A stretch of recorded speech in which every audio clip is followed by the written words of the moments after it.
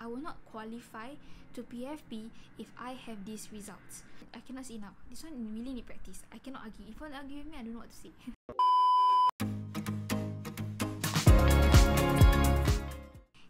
and welcome back to my YouTube channel. It's me Farzana. Assalamualaikum. Hope you guys are doing well. So in today's video, I'll be um, actually answering all the responses regarding a Q&A um, story that I actually posted on my Instagram. But in this video, it's gonna be basically focusing on study. So I actually received three questions from you guys. So I don't really want to actually combine with other questions because I feel that this question deserves its own video. So let's get started. I don't waste any more time. So the first question I received is how to improve English and science. So basically, uh, for science, I am a student from the subject combination of biology and chemistry. So for biology, I am like so in love with biology. So I usually just memorize all the stuff. I know that a lot of people right they don't they can sometimes they are unable to actually memorize a lot of things you know it actually takes time you know. Um but for me that actually works because I really love and really love biology. And I actually ask a lot of questions pertaining it to my teachers if I do have queries. So for chemistry wise I'm really worst at it. So um for chemistry my take was uh, my take is that I would actually do a lot of practices. I know a lot of people will say huh Farzana practices that's like similar to all the seniors who's been saying. And then memorizing so a lot of seniors say memorize lah memorize lah. I know guys but that actually works for me. But I don't really have other tips that really help me in my biology and my chemistry. This is just it's just like straight from me okay guys? I don't really have much tips for science. I'm so sorry about that. But for english yes guys i have a lot of things to, to share with you guys. Okay this is gonna be a long one but bear with me. So for english okay i am a person who's really weak in my grammar. Do so i do have a lot of grammar mistakes okay? So my teacher says there are things I can I should focus to actually boost my grammar to help my grammar and to actually overall boost my English um, grade so firstly is actually editing. So editing is a way that you can actually freely or easily get your marks. So if you guys don't know editing has 10 mistakes in it. So 10 questions with 10 different mistakes. So what you have to do is basically firstly to practice but how do you practice? Make sure that each question you check with the 10 different mistakes so for the first an- for the first sentence is there this mistake or this mistake? If yes then that's the answer. And at the same time be sure to actually take your time but not too long lah okay? So make sure to actually take your time to do your editing really check properly whether that is the right answer. Always check back okay?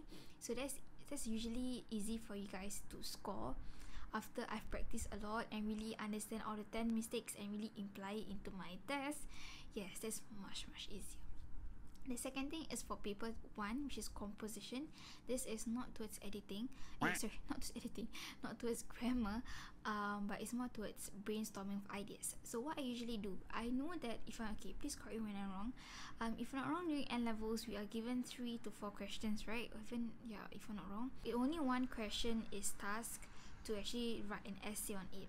So what I usually do for other papers, okay, my practice papers is that I'll yes, I'll choose one question to do, and the three or two questions that I'm not doing, I'll actually brainstorm all those ideas. So this brainstorming of ideas, it will actually help you in your oral as well. So you might not know that these topics will actually be related to your oral, which will be related to you know like maybe your paper two or something like that sometimes these things are correlated with each other. So when you brainstorm these type of ideas you get more ideas for your oral. So you get more ideas for your oral. It's easy for you to actually quickly think of the answers for the questions that is given by the examiner so basically that's it um and also um maybe if you guys want to be a bit more extra lah want to get extra marks you know you can you guys can actually do a bit more research regarding that topic itself okay and as for composition also for grammar this is the crucial part I am someone who used to focus a lot with my vocabulary. I don't really think of my grammar because I think that my grammar is amazing, but in reality, it's not. Okay, guys. Be sure to actually focus more on your grammar because your grammar is your foundation. If you couldn't get your foundation right how about the other little things like your vocabulary so it's okay if you guys have little to no bombastic words in your essay but make sure that your grammar is accurate your sentence structure is right your subject verb agreement is right if not you lose a lot of marks in your language. So that is the thing that I really learned and I really regretted that I really I didn't really catch that point really really early. Yeah. So for the last tip for english is basically your summary.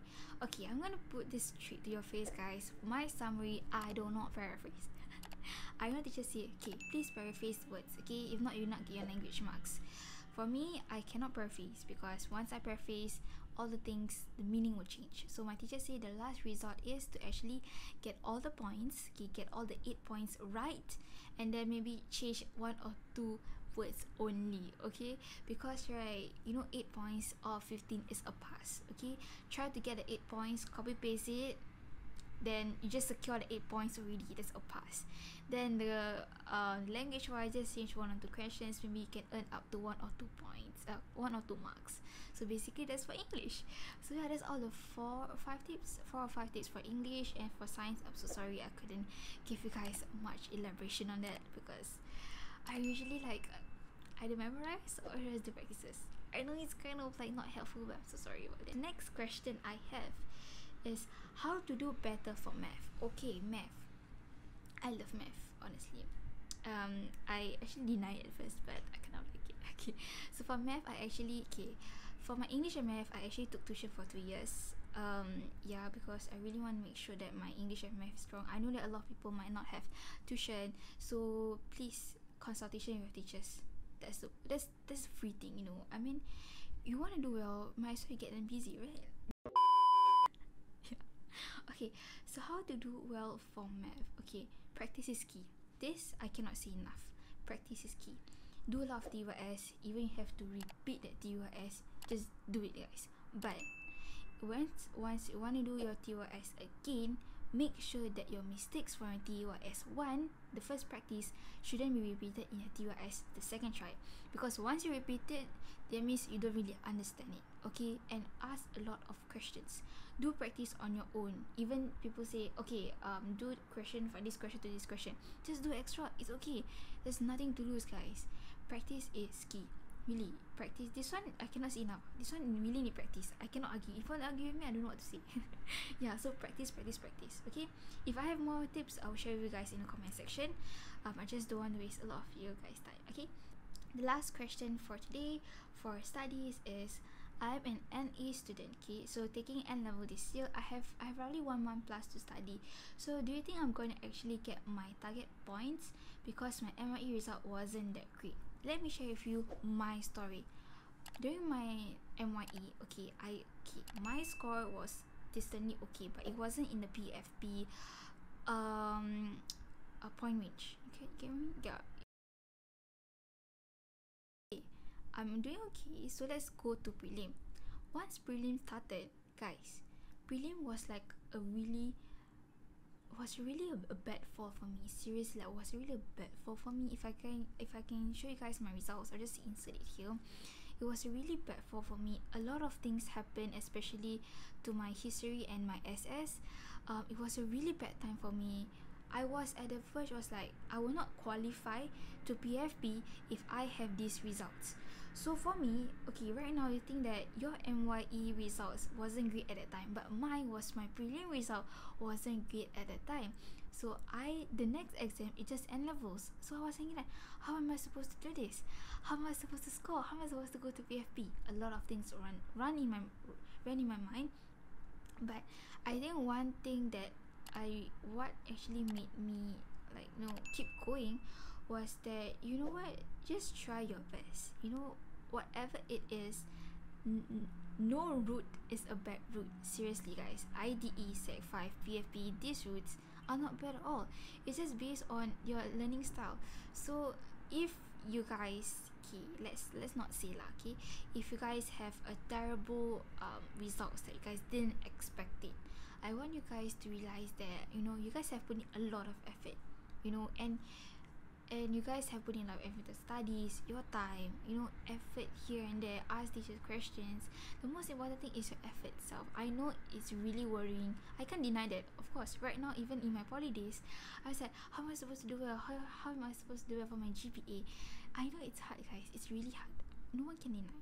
But the thing is that make sure you put in a lot of okay make sure you put in your best effort. And at the end of the day if you didn't get the results that you expected i want you guys to be proud of yourself because you tried. You tried no because you didn't give up. You know you want to do well but you, you didn't stop trying. So afterwards what no matter what results you get i want you to be happy about it because you might not know the next journey in life is something that you you didn't expect it. I do have a friend okay? Um he went from nitec and then he went to na wow amazing.